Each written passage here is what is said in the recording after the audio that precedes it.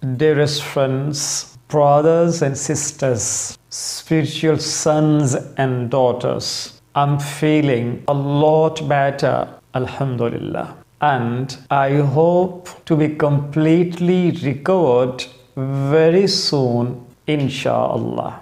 Thank you for your remembering to pray to Allah Almighty for my health. Jazakumullahu khaira.